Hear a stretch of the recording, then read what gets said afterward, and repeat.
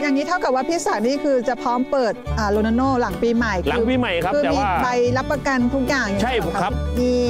คุณแม่จับได้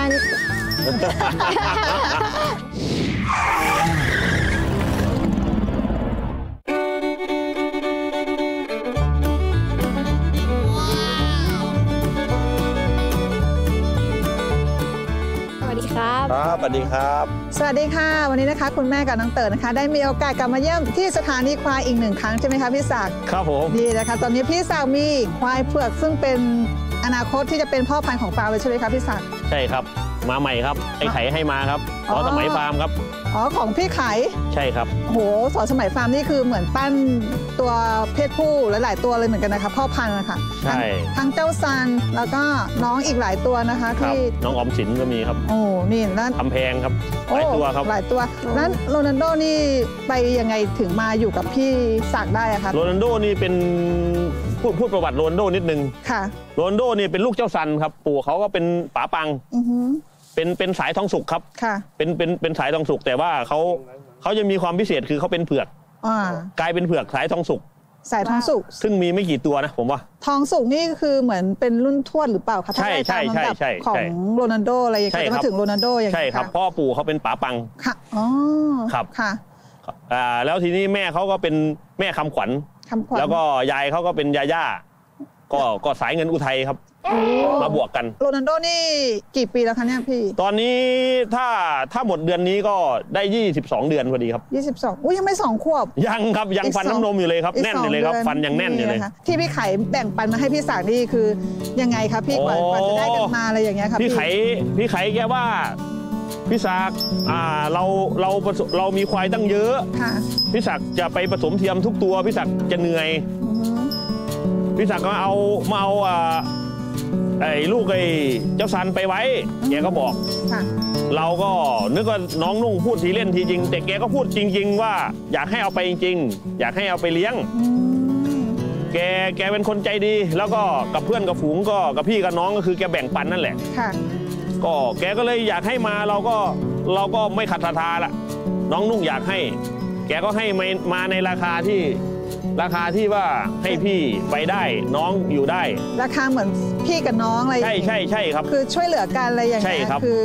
อนาคตโรนัลโดนี่อาจจะมาเป็นพ่อพันธุ์หลักของอาสถานีควายเลย ใช่แกก็ว่าอย่างนั้นแหละ เพราะว่าสายตาไอ้ไขมันแกรู้อยู่แล้วว่าตัวไหนไปได้ค่ะตัวไหนไปได้ไม่ได้ แกว่ามัน มันมันมันได้ทุกอย่างอะ่ะ ดูขาขาแข้งมันก็มันก็ไม่ขี้เหร่อะอ่าอย่างโรนัลโดนี่คือที่สะดุดตาคุณแม่ก็คือนี่เรื่องหน้าตาของเขาค่ะ ครับ ตอนนั้นพี่ไข่แนะนำมายังไงบ้างคะตัวนี้โรนัลโดไอ้ไข่ก็เป็นคนพูดน้อยอ๋อไอ้ไข่ก็จะบอกว่ามันใส่ได้ผ่านไอ้ายผ่านอย่างเดียวครับผ่านแกว่าผ่าน นี่คือนี่คือพูดเยอะแล้วครับถ้าว่าผ่านนี่ก็แสดงว่าใช้ได้ค่ะในสายตาของพี่ศักดิ์เนี่ยคำว่าผ่านของพี่ไข่นี่คือยังไงบ้างคะในมุมมองของผมถ้าพอมาเจอปั๊บที่เรามาถึงบ้านเราแล้วเด่นเลยเนี่ยคือเนี่ยผมชอบแข้งขา ผมเป็นคนที่ชอบควายที่แบบรากฐานมั่นคงอ๋อก็คือต้นขาใหญ่ใช่อ่านี่คือควายฝ่าเท้าใหญ่ ใช่ เพราะว่าการเดินทรงตัวจะได้มีความมั่นคงอย่างถูกที่ต้อพี่งศักดิ์แล้วบอกเราเราเราจะสามารถอัดเขาให้เขาได้โตได้อะไรได้ เพราะว่ารากฐานเขาแข็งแรงอือหือแล้วก็คือ กระบาลเขาหน้าเขาเขาเขาจะเป็นเขาเขาเขาแบบเขารุ่นใหม่ที่แบบคนกำลังกำลังนิยมว่างั้นเถอะ ใช่ค่ะ เขาเปิดเขาเขาเปิดเปิดไหมพี่เต๋อลองลองมองดูดิลูกเปิดเต๋อชอบไหมชอบชอบพี่เต๋อชอบดูใช่ให้ดูกระบาลเขาของเขาจริง ๆเลยนะคะนี่ใช่ดูเริ่มตาเขาดูหน้าเขาแต่ตอนนี้คือเขายังไม่นิ่งเท่าไหร่ เขายังไม่นิ่งครับเพราะว่าเรายังไม่ได้ฝึกเขาเราเรายังปล่อยเขาอยู่พูดง่ายๆคือเขาให้เขาโตเต็มที่ไม่อยากบังคับเขา ค่ะนอกจากมีความอ่าพี่ศักดิ์มองความมั่นคงของเขาแล้วมีตรงไหนอีกอะคะพี่ศักดิ์ อ่าดูดูหลังเขาดูหลังเขาพวกหลังเขาหลังเขาจะตรงดีแล้วก็มันจะเป็นหลังหลังใหญ่ๆ แบนๆ แล้วก็ดูเขาเขายังพูดง่ายๆคือเราดูแล้วเขาจะโตได้อีกค่ะ แล้วท้ายเขาอย่างน้องจันเห็นเนี่ยท้ายเขาจะสวย สวยสวยเขาเป็นเป็นควายที่ท้ายสวยค้นหาแต่ตอนนี้คือเราเราเรายังไม่ไม่ไม่ไม่ได้อัดเขาได้อะไรเขาเต็มที่ค่ะเราถือว่าเราเราปล่อยให้เขาโตอืมคือในความคิดพี่คือพี่อยากปล่อยให้เขาสูงมอยากให้เขาสูงก่อนค่ะ ยังไม่ไม่ได้อยากไปอัดอาหงอาหารอะไรให้เขาแบบว่าให้เขาอ้วนมากอะไรมาก ตอนนี้คือพี่ศักดิ์ปล่อยตามธรรมชาติขาใช่ใช่เลี้ยงธรรมชาติเลยไม่ไม่ได้มีอะไรก็นี่ดูอาแข้งหารขาอาดูหารก็ให้ให้ให้อยู่แต่ว่าให้ให้ในจำปริมาณน้อยก็เช้า 1 กิโลอ่าเย็น 1 กิโลค่ะ มีแข้งขาที่มั่นคงแล้ว มีสันหลังที่มั่นคงแล้ว แล้วมีตรงไหนอีกอะคะตัวนี้ ไอ้ไข่ให้ให้มาแล้วก็ไอ้ไข่บอกว่าไอ้ไข่ได้ลองลองลองให้เขาขึ้นตัวเมียดูอ๋อเขาขึ้นแม่นมากอ๋อมีความแม่นแล้ว แม่นแล้วครับ ยังไม่ถึงสองขวบแต่เขามีความแม่นแล้วแม่นแล้วครับป๊าดไธรรดมีความเป็นชายแล้ว ตอนนี้ผสมที่สถานีแล้วก็ผสมกับชาวบ้านไปแล้ว ตอนนี้ 12 ตัวครับ12ตัวนี้คือผ่านผ่านเราทราบยังคะว่าผ่านกี่ตัวคะก็เพิ่งผสมไปในอาทิตย์เดียวเนี่ยครับอาทิตย์เดียวได้ 12 ตัว โอ้คือชาวบ้านเขาตั้งใจมาคนละแวกแถวนี้คือเท่าเขากับวันหนึ่งเขาขึ้นสองครั้งเหรอคะ บางวันก็มีสามครั้งมีมีสามตัววันหนึ่งโอ้โห วันนั้นสามตัว ชาวบ้านเข้ามา คือพอดีชาวบ้านเขาเห็นเราอะมีพ่อพันธุ์แล้วค่ะเขาเขาเห็นเท่านี้อะอย่างเขามา เขามาบ้านเราเขาเห็นเท่านี้เขาคือเขาเขาว่ามันโตมากอืมใหญ่มาก ค่ะเขาไม่ได้รู้ว่าอายุมันเท่าไหร่อะไรยังไง แต่ขอแบบว่าชาวบ้านมาเฮ้ยเห็นเขาตัวใหญ่ เออ โตแล้ว พ่อพันธุ์น่าจะเป็นขึ้นทับได้ใช่ส่งใช่ได้ใช่แล้วอะไรอย่างเงี้ยแล้วทีนี้มาจากแวงน้อย มาจากเมืองพลแล้วก็มาจากอ่าทางเลยไปนู่นอะทางบัวใหญ่ไปนู่นมันมาไกลเนาะก็เขาก็จ้างรถมาเราก็สามไม่พันอยากสี่พันให้เขาใช่ เสียใจเราก็ไม่อยากให้เขาเสียใจ แต่เราก็บอกเขาอยู่ว่ามันยังอายุยังน้อย อืมแต่ว่า ไอ้ผสมอะมันน่าจะผสมได้ แต่ว่าถ้าถ้าพอใจแล้วก็มั่นใจในเรา เราก็ทำให้ก็เลยทำให้ทีแรกก็ไม่ทำปฏิเสธไป3ามสี่ลาย ทีนี้มันมันก็มาเรื่อยอะน้องจันค่ะ ก็เลย ลองให้ขึ้นเลย ก็เลยลอง แต่ว่าโทรไปถามไอ้ไข่กับอ่าหมอสัน หมอสันก็บอกว่า แกเทรนมาแล้ว ฝึกมาแล้วพี่ศักดิ์ลองดูก็ได้ เราก็เลยลองเลยวันนั้นน่ะของค่ะชาวบ้าน มันก็ขึ้นทีเดียวเรียบร้อยเลยครับไอโดครับหูแม่นขนาดนั้นแม่นเลยครับ แสดงว่าแม่นเตะแม่นเข้าไม่ต้องมีแนซองเลยครับโอ้โหเข้าอย่างเดียวเข้าอย่างเดียวครับโอ้อาทิตย์หนึ่ง12 แม่นี่ก็ 12 ตัวนี้ก็ใช่ถืว่า12 ตัวครับอาทิตย์เท่ากับที่ผ่าว่านมาวันหนึ่งสองถึงสามครั้งถูกต้องครับโอ้โหแต่ตอนนี้ก็ก็ก็พักมันก่อน สพักงก่สอนงสารมันถูกถ้าเขาโทรมาก่อนเราก็เราเลยบอกเขาว่าขอเป็นหลังปีใหม่อืมขอเป็นหลังปีใหม่ เพราะว่ามันหนึ่งคือเรายังไม่ไม่ได้ทำใบผสมให้เขาค่ะอ๋อเราอยากให้เขามาแล้วเขาได้ใบได้อะไรไปพร้อมอะไรพร้อม อย่างนี้เท่ากับว่าพี่สานี่คือจะพร้อมเปิดอ่าโรนัโนหลังปีใหม่ หลังปีใหม่ครับคือแต่มีว่าใบรับประกันทุกอย่างอย่างใช่นี้เหอครับพี่คิดว่าจะทับ จะทับโรนลโดในราคา 4,000 บาท หรือว่า 4,000 บาทคือเราจะให้ให้เขาสามครั้ง สามโอ้ครั้ง ถ้าผสมครั้งแรกไม่ติดมาครั้งสองค่ะ ครั้งสองไม่ติดมาครั้งสามค่ะแต่ถ้าควายตัวเมียไม่มีปัญหาอะไรก็ครั้งเดียวน่าจะจบแล้วน้องจัน แล้วในการอ่าผสมอ่าแม่พันธุ์มาแต่ละครั้งอย่างเงี้ยเราต้องมีการยังไงบ้างคะพี่ศักดิ์ต้องมีการตรวจโรคตรวจอะไรอย่างงี้บ้างไหมคะ คือเราจะเน้นกับชาวบ้านแถวแถวๆละแวกบ้านเราละละแวกบ้านเราแล้วก็ขอให้เขา เอาคนที่เขาเชื่อใจได้อะไรได้อืมคือเราก็ยังไม่ได้ไม่ได้เป็นทางการขนาดนั้นค่ะคือแต่หลังปีใหม่อย่างเงี้ยค่ะ พี่คืออ่าอย่างจังก็หวัดคงอื่นใช่หลังอย่างปีโซใหนม่ของหนูอย่างหนูนครสวรรค์อะไรเงี้ยอยากอ้าวมาลองผสมพันธุ์อ่าสายเผือกอ่ดูอะไรอย่าางเงี้ยถ้าจะเปิดจริง ๆ แบบนั้นก็คงจะให้โดมันได้ทักสองปีครึ่งน้องจันอ๋อโอ้ตอนนี้ก็คือพูดง่ายๆก็คือคือรับละแวกพื้นบ้านใกล้ใช่เคียงใช่พูดง่ายๆบำรุงทุกข์บำรุงสุขชาวบ้านไปก่อนโซนละแวกนี้ไปก่อนใช่ใช่ใช่พอได้มีรอยยิ้มค่ะ แต่เราก็จะเริ่มเริ่มเปิดตัวเขาไปเรื่อยค่ะ ๆ เพราะว่าเราเราไม่คิดว่าเราเราจะใช้งานเขาหนัก เพราะว่าเขายังเด็กอืมถ้าผสมขนาดนั้นคือเขาจะไอเรื่องโตมันไม่มันมันโตอยู่แล้ว แต่ว่าคือเขาจะไม่ใส่ใยการกิน พอควายถ้ามันได้ผสมแล้วได้ได้ได้เริ่มเซิงแล้วเขาจะห่วง ค่ะเขาจะห่วงการกินก็จะน้อยลง อืมในความคิดผมผมก็เลยคิดว่า รอให้เขาได้อายุสักสามปีสามปีเศษๆเราก็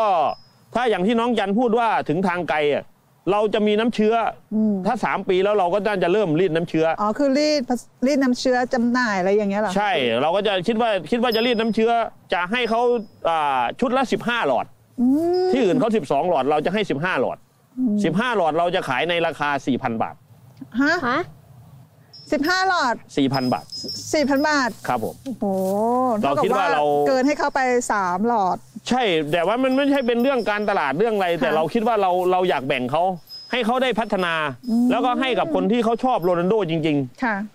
อันนี้เพราะขึ้นว่า อยู่ความชอบของแต่ละท่านด้วยค่ะใช่ว่าใช่ใช่อ่าว่าสายไหนเป็นสายไหนอะไรอย่างเงี้ยๆใช่ครับ อย่างโรนัลโดอย่างเงี้ยคือขนาดเขายังไม่สองยังไม่สองขวบ22 เดือน22 เดือนตอนนี้ยังไม่สองสูงขวบเต็มเลยอะสูงอยู่ 151 ครับ โอ้151 บวกลบครับ แล้วก็หนักอยู่ที่ 790 โลครับโหก็ก็เริ่มไปพัฒนาที่เร็วเหมือนกันนะยังใช่ใช่ใช่ยที่เพราะเรายังสอเรายังไม่ได้สอปี บำรุงเขาเต็มที่ ค่ะ อยากให้เขาโตแบบค่อยๆค่อยๆโตไปเหมือนเหมือนเหมือนน้องเออเต๋อเนี่ยครับ ให้เขาค่อยๆโต แต่ผมคิดว่าอีกสักหกเดือนข้างหน้าเนี่ย ค่ะเราเรามารอชมดูว่าเขาจะเป็นยังไง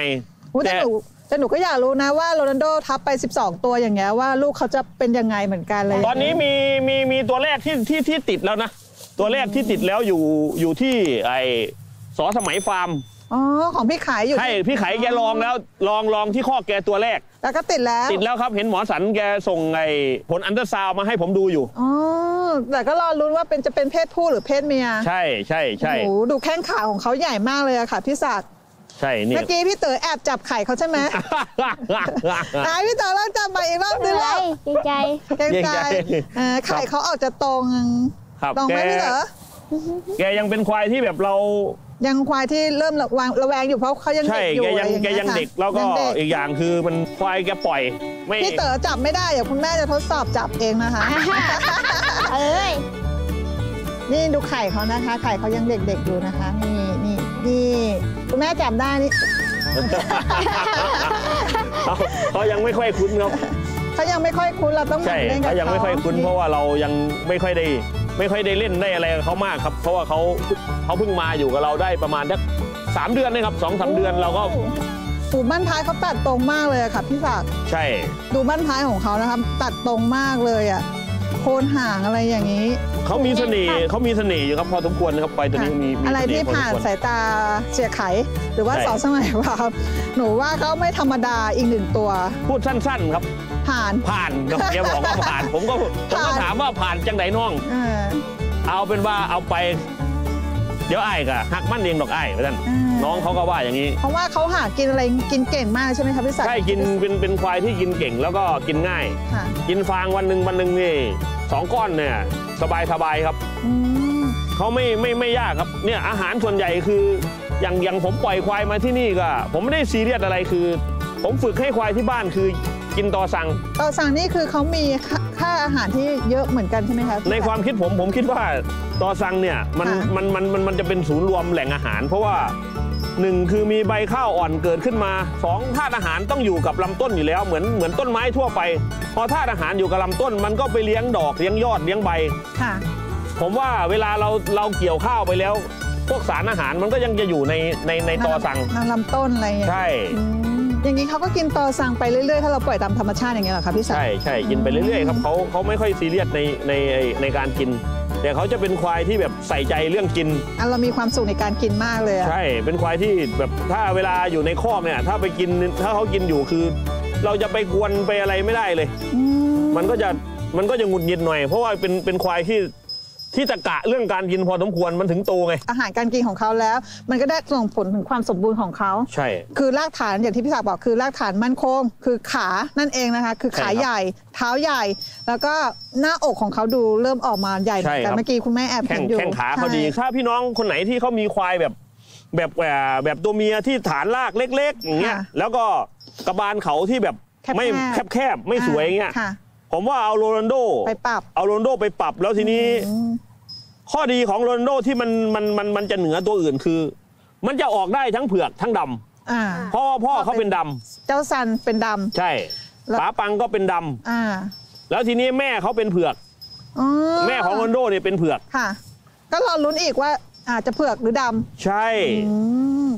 ในในความคิดของผมคือเราเราเราเราเราเราไปทับเนี่ยะ เราคิดว่าเราเราบางคนไม่ชอบเผือกอืมบางคนไม่ชอบดำแต่ผมบอกเลยว่า มันมีโอกาสได้ทั้งมันเผือกมีทั้งโอดำกาสได้ทั้งเผือกทั้งดำแล้วก็อย่าไปเลือกสี อย่าไปซีเรียสเรื่องสีเลือกโครงสร้าง เลือกโครงสร้างอ่า ควายเนี่ย ถ้ามันออกมาแล้ว มันน่าดู ค่ะแล้วมันเตะตา อ่า ไม่ว่าสีดำหรือหรือสีหรือหรือสีสีเผือกเผือกอ่า ผมว่าเขาเขาจะขายตัวเขาเอง ค่ะ ควายควายเนี่ย ต่อให้เรา ดีแค่ไหนเก่งแค่ไหน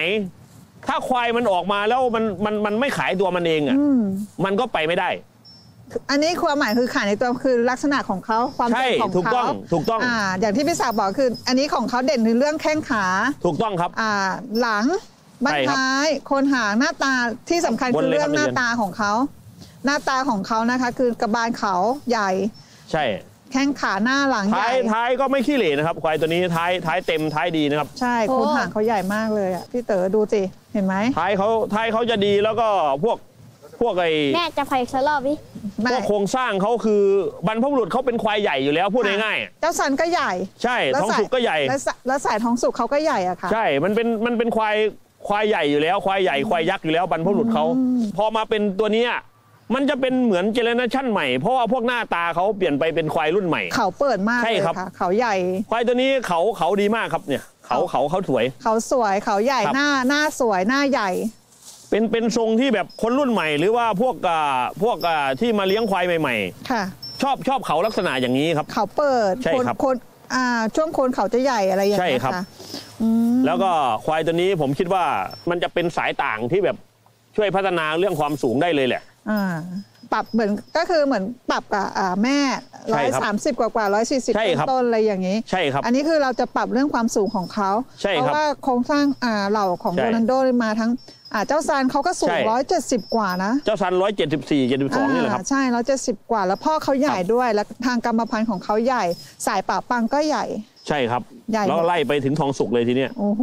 ต้นตระกูลใหญ่ ความใหญ่โครงสร้างใหญ่อยู่แล้วใหญ่ครับ หนา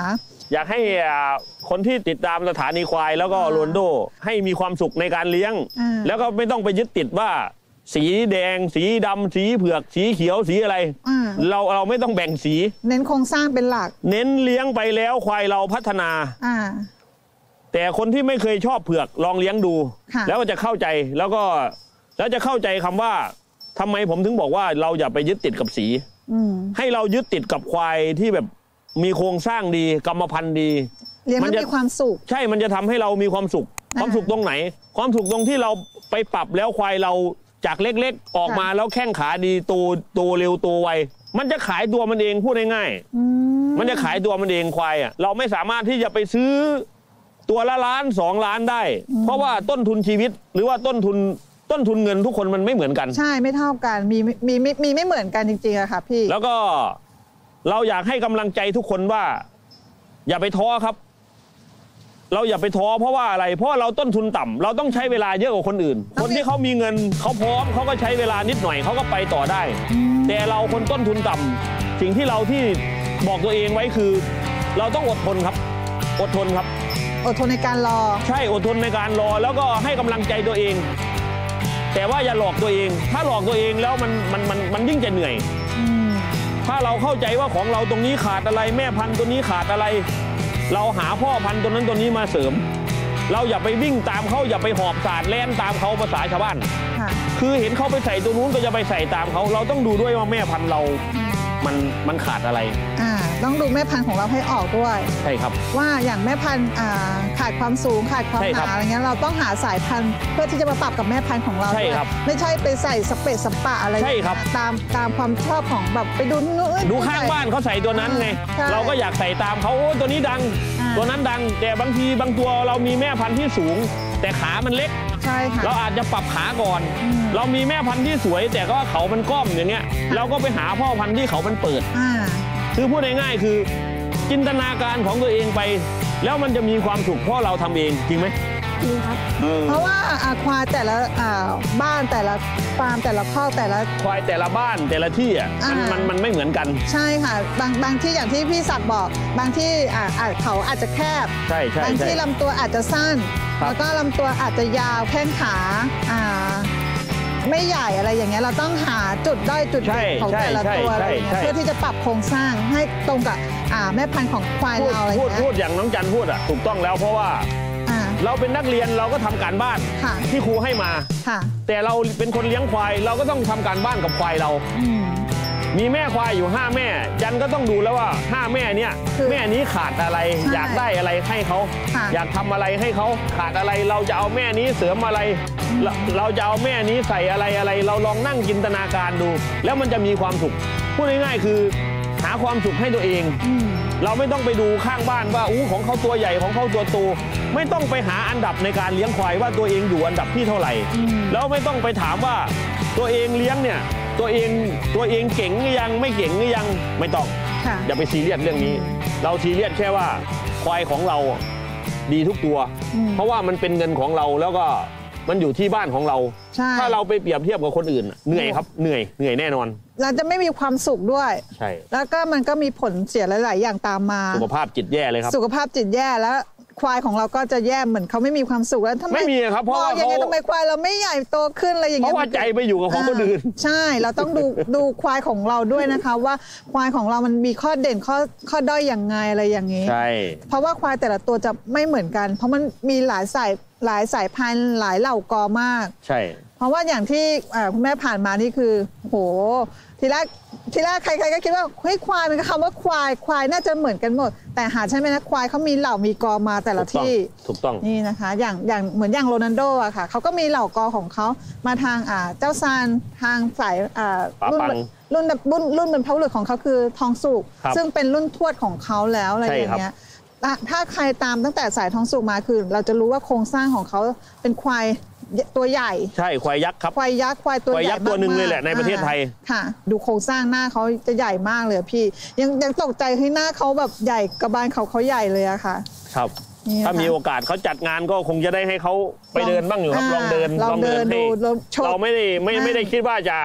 ให้เขาได้รางวัลได้ที่อะไรยังไงหรอก เราอยากให้เขาไปให้คนได้รู้จักเขาอืถ้ามีโอกาสก็จะจะจะลองอยู่คิดว่าอยากจะลองให้เขาไปไปเดินดู ให้คนที่เขา ไม่เคยเห็นได้เห็นอืมแต่ว่าไอ้เรื่องถ้วยรางวัลคู่ถังกระมังหม้ออะไรนั่นน่ะเราเราไม่ได้ซีเรียสอะไรค่ะแต่เราแค่อยากให้อยากให้คนได้เห็นได้เป็นมิติว่า ควายราคาต้นทุนแค่เนี้ยอืมเราสามารถที่จะสร้างให้เป็นควายเงินล้านเงินหมื่นเงินแสนได้ ถ้าเราศรัทธาในตัวควายอืมขอเราศรัทธาในตัวควายเราไม่ใช่เรานั่งภาวนาพุทโธให้ควายโตโดยที่ไม่ทำอะไรเลยอืมการที่จะทำอะไรอะ มันมันต้องลงมือทำค่ะทำจริง ๆ จังค่ะๆแล้วก็ไม่ต้องรอแล้วอย่าไปอ้างว่ายังไม่พร้อมอืมถ้าเรารอพร้อมอะ อายุมันจะเท่าไหร่ ผมว่าทำไปด้วยแล้วก็แก้ไขไปด้วย แล้วก็ให้มองปัญหาที่มันเปลี่ยนเป็นแล้วที่มันเกิดขึ้นอะ